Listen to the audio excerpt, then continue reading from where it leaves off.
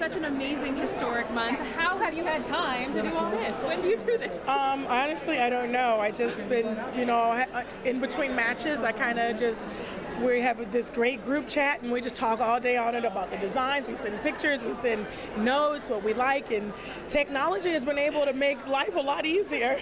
Do you feel like you can breathe now after the hype has calmed down? I can in a couple of hours. I'll be able to breathe and I'll be really happy and excited for it all to be kind of over and sad at the same time. But I'm ex- so excited to be a part of this HSN collection. Have you had a chance to recuperate? Not really. You jumped right into I've, it. ju- I've been jumping into this, you know, the whole time. It was the same thing last year after I won. I was already doing the show, and so it all worked out. But getting those nerves, so we'll see how it works. And you know, your fans just want to know how you're how you're feeling. How are you recuperating from the loss? Oh, I'm good. I'm good. It wasn't a loss. It was a win for me, and I didn't even expect to go that far. And it was a tough match, so it was always okay.